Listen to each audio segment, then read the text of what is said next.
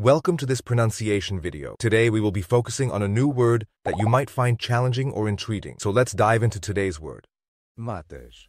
which means Matas is not an English word, hence no standard definition exists. let's say it all together. Matas. Matas. Matas. One more time. Matas. Matas.